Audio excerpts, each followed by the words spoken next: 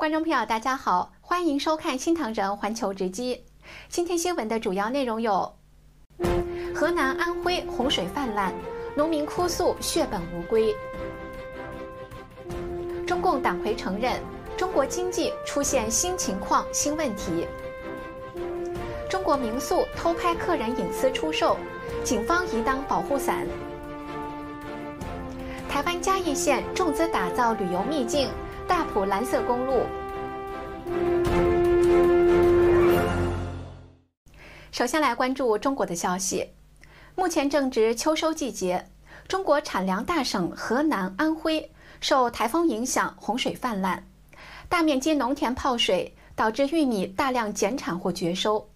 但由于养殖业不景气，今年玉米价格低迷，农民哭诉血本无归。受贝碧嘉和普拉桑台风影响，安徽、河南等地受灾严重，农民损失惨重。河南商丘农民披露，中国玉米大部分用来养殖，由于养殖业不景气，今年玉米行情不好，泡水玉米价格更低。水里边拉出来的玉米五毛钱都不给，好玉米八毛钱一斤，粮食不值钱，中国老百姓没有发言权，没有定价权。现在除了粮食不涨价，化肥、种子。农药涨价了，以前收一亩地六十八十，现在一百块。玉米今年绝收了，减产了，连本钱都收不够，种地不挣钱，我们的出路在哪？商丘农民表示，今年玉米多灾多难，先旱后涝，收成时遭遇台风，造成玉米大量减产或绝收，很多农民血本无归。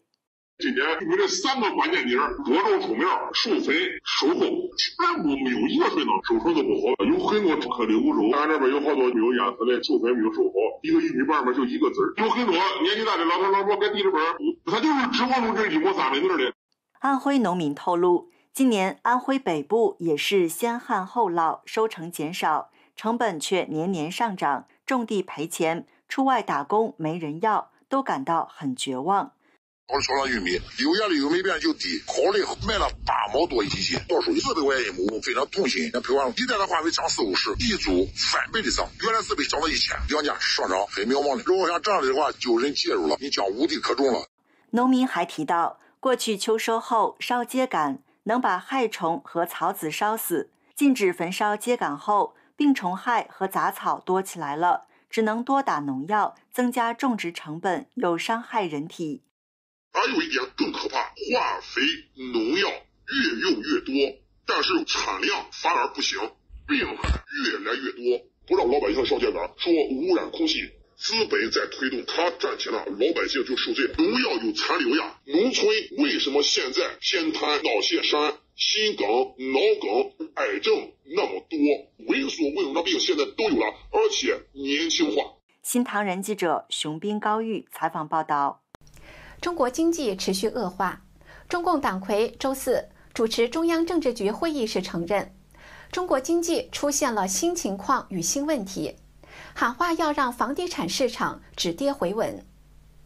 中国经济持续恶化。中共党魁九月二十六号主持中央政治局会议时承认，中国经济出现了新情况与新问题。中共官方连日喊出多项经济刺激政策，包括人行要向金融市场放水一兆人民币。虽然消息激励入港股，但外资依旧敬而远之。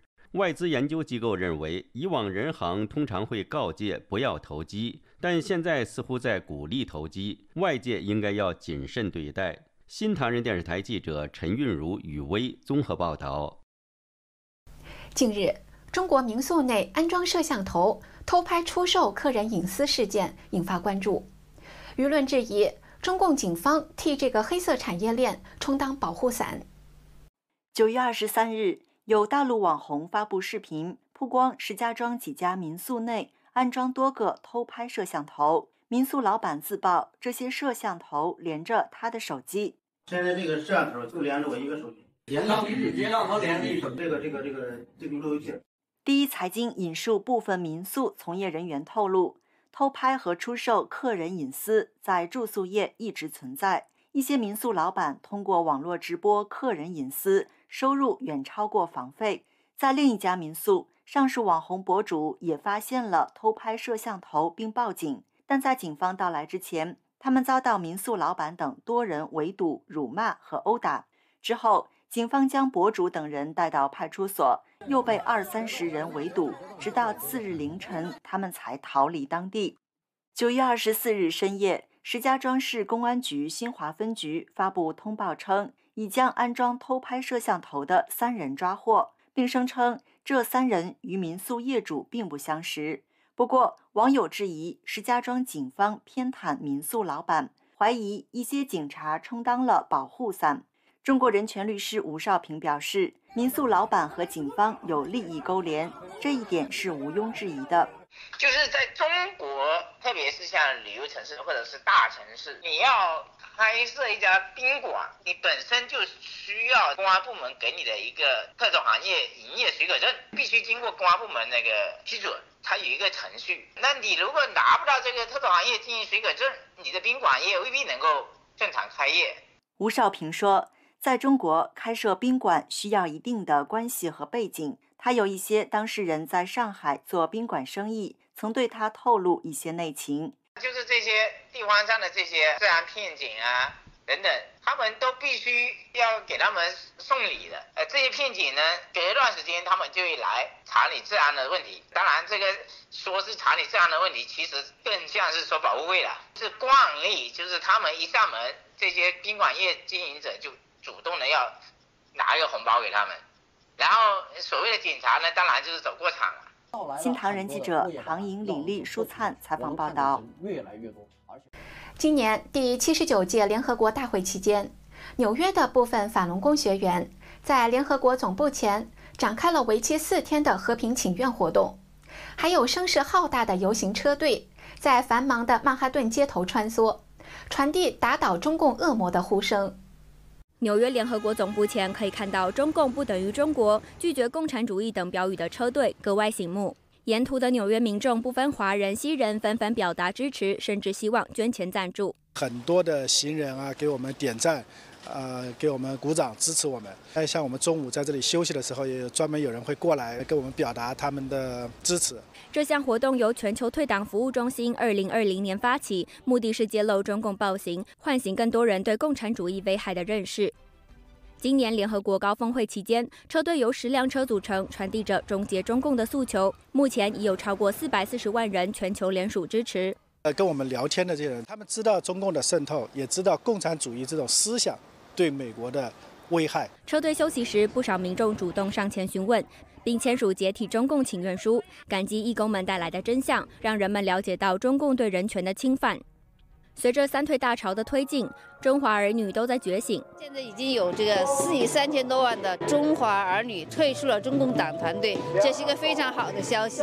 这样的就是一种精神觉醒浪潮呢，已经正在改变中国。与此同时，上百名法轮功学员在联合国外和平请愿，集体练功，并展示法轮大法好和停止迫害的横幅，呼吁国际社会共同制止中共对法轮功长达二十五年的迫害。希望有更多的国家的那些领导人，希望有更多的美国的民众，能够通过我们的真相的展板，能够知道中共的邪恶。中共对法轮功修炼者真善人的信仰进行了长达二十五年的打压迫害。海外的法轮功修炼者透过这些活动，唤醒国际社会对中共人权暴行的关注。新唐人电视台记者夏文月、唐城纽约采访报道。接下来，请看一组新闻简讯。日本自民党今天选总裁，三强领先，要拼下一任日本首相。中共最新核潜艇在武汉沉没，中共官方掩盖。四级飓风海伦直扑美国佛州，多地已经进入紧急状态。欧盟预计下周对中国电动车加征关税进行投票。可以一览韩国军工产业现状及未来的第六届韩国防卫产业展，周三在高阳会展中心举行，为期四天。第六届韩国防卫产业展二零二四正式开幕。今年的展会以“和平与未来，承诺的时间”为主题，促进政府、军队和企业。对防卫产业时代的使命达成共识。防卫산업은사실따져놓고보면단순한무기의거래가아닙니다防卫产业并不是单纯的武器交易，而是指同盟以上的亲密的纽带关系。因此，我认为这相当于无言的安保同盟。今天迎来第六届韩国防卫产业展，希望发展更上一层楼。 韩国防卫产业展是亚洲重要的国防交流平台，从2014年开始，隔年举办。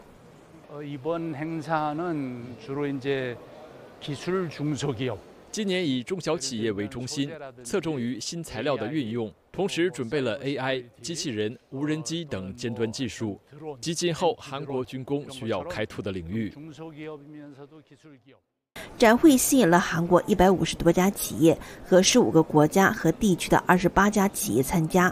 期间，除了展示各类军工的高科技产品外，还举办主题研讨会，并提供资讯等。现在，四足步行机器人之所以得到军中的关注。是因为与其他轮式机器人或一族步行机器人相比，在非定型变化的战场环境下移动而备受瞩目。因此，通过今天的展示会与军工企业联系也是很重要的。只有这样，才能在多种领域灵活运用商业机会。今年也首次为三家国防产业中小企业颁发了防卫的奖项。新唐人电台记者金燕朴炳元韩国采访报道。中共核潜艇沉没，顾立雄表示多重勤监侦手段掌握。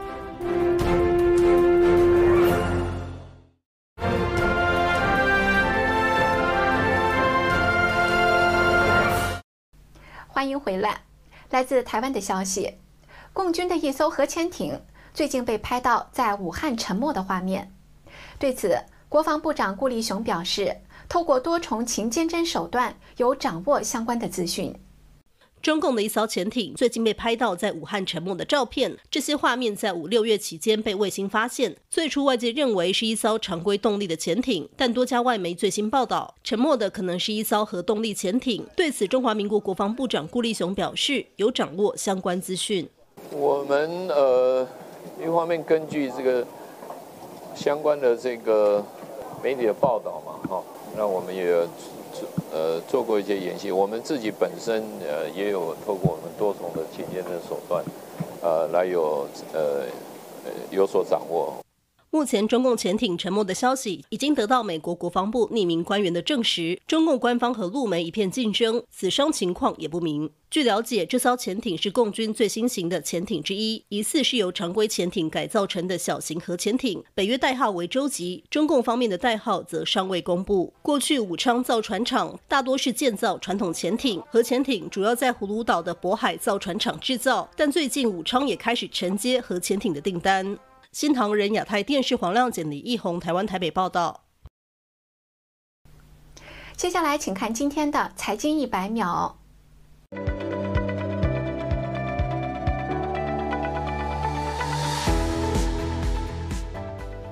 目前是非盈利组织的 OpenAI，近期正在考虑重组为盈利性公益公司。先前传出 OpenAI 计划配发百分之七巨额股权给执行长阿特曼，不过阿特曼在二十六号的会议中否认了这个消息。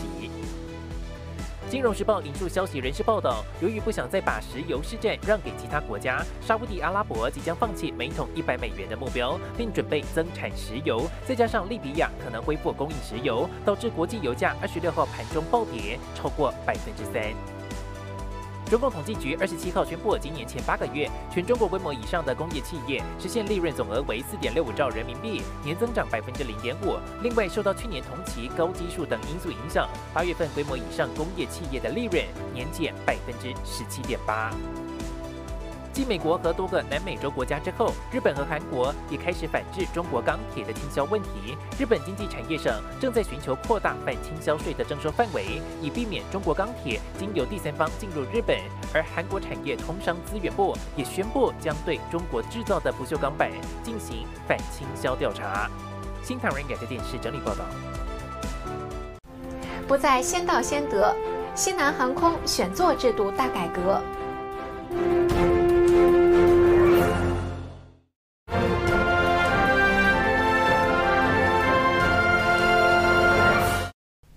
美国疾病控制与预防中心周三表示，李斯特菌在多个州爆发，累计有十人因为接触感染而丧命。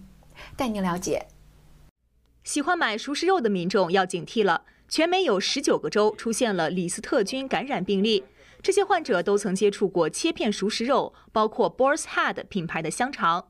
周三，美国疾病控制与预防中心报告，今年五月底以来。全美已经至少有五十九人感染李斯特菌，累计十人丧命，而真实的患病人数可能高于统计数字，因为很多患者需要十周时间才会出现发烧、脖子僵硬、癫痫等症状。目前，多地议员都致信美国农业部，谴责 Boar's Head 屡屡违规，导致消费者受害，应该考虑对业者提出刑事指控。食品安全检验局的报告显示，从二零二二年以来。这家企业确实存在数十起违规行为，例如虫子、霉菌、地板上水坑的血迹、冷冻箱中的腐臭味、生锈的设备、掉落的墙皮等。而 Boar's Head 已经召回了数百万磅熟食肉，并重新任命品质管理人员，也建立委员会保障食品安全。联邦建议消费者检查家中熟食肉的编码和日期，不要再食用被召回的产品。新唐人电视台记者李佳音综合报道。西南航空一直以先到先得的选座制度受到青睐，但最近这家公司宣布大改革，从2025年底开始，乘客在订票时需要预订座位。过去五十多年里，西南航空一直采用开放式选座位制度，但公司宣布，从2025年底开始，订票时乘客需要预订座位。这项新制度将从2026年初正式在飞机上实施。西南航空表示，百分之八十的乘客都希望提前订座位。除了改为预订座位的制度外，航空公司还准备把约三分之一的座位升级成价格更高的高级座位，腿部空间最多可增加五英寸。这就需要在一些飞机上拆除一排座椅，预计将于二零二六年底完成。官方估算，这些改革有望在二零二七年给公司增加约十五亿美元的税前收益。此外，西南航空的乘客将可以继续免费托运两件行李。公司认为这有利于他们的收益。新唐人电视台记者张博元综合报道。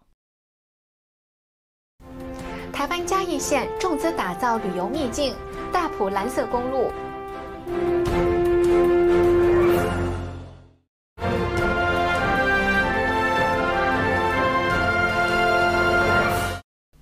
您看过黑鸢在水上护盖飞行、捕鱼抢食吗？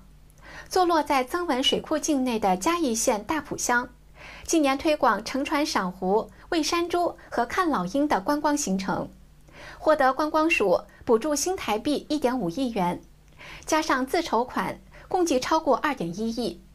二十六号举行宣传记者会，邀请游客畅游大埔。成群的黑鸢在曾文水库上空盘旋、俯冲掠食，造访有趣的山猪岛。嘉义大埔有“老鹰之乡”的美称，是嘉义县力推的旅游秘境。今年更获得交通部观光署补助新台币一点五亿元，改善旅游软硬体设备。不管是曾文水库上的啊钓鱼平台，那未来可以啊办活动，那包括可以钓鱼看到老鹰。针对行动不方便的人，那要搭船，我们有一个无障碍的设施。那是一个缆车的设置，基础建设把它做好之外，我想很重要的就是如何把它行销出去，通过数位创新，让全世界啊国内外的游客能够知道，啊我们有这么美丽的啊大埔哈。为了打造大埔永续自然生态及多元艺术文化，嘉义县府规划数位整合计划，包括增文水库码头友善环境改善工程、琴音会馆、赏音平台新建工程等三大建设，强化蓝色公路油气体验，同时导入 App 创建商圈，带动整体发展。最主要就是要强化在蓝色公路，就是我们增文水库的这个呃油气的跟路上的一个结合，再加上一个软体 APP 的一个导入。将加速大埔乡的全面的在观光为主轴的这个能量的一个发展。县长翁章良表示，大埔乡已经成功突破增文水库对地方发展的限制，从海陆带动商圈，从生态到艺术，还有无障碍设施方便游览，以及数位 App 搭载中英日等多语种，可以吸引更多国内外游客造访。新唐亚太电视刘燕璇、方雅贤，台湾嘉义采访报道。苏富比即将在今年十一月拍卖一条十八世纪的项链，上面约有五百颗钻石。项链的历史更是大有来头。这条项链来自一位亚洲私人收藏家，由三排钻石组成，两端各有一个钻石流苏，预估拍卖价高达两百八十万美元。这也将是他五十年来首次公开亮相。项链此前曾经在王家加冕典礼上被佩戴过。苏富比介绍，这条项链可能是在法国大革命前的十年间制作。The necklace is composed by 500 stones. that range from 1 carat to 1.5 carats, pretty much with a weight of circa 300 carats. It's exceptionally rare for an 18th century jewel to have these many stones and this many carats. 也有传说，项链中的一些钻石是来自法国王后玛丽安东尼的一条钻石项链。 项链将在十一月十一号在瑞士日内瓦拍卖，十月二十五号苏富比官网开放线上竞标。目前项链正在世界各地展览。新唐人电视台记者柯婷婷综合报道。在节目的最后，我们来关注一下，在大纪元网站上公开声明退出中共党团队的人数情况。截止到北京时间二零二四年九月二十七日，公开声明三推的总人数已经达到四亿三千六百四十八万八千八百八十人。前一天的声明人数为四万三千三百七十一人。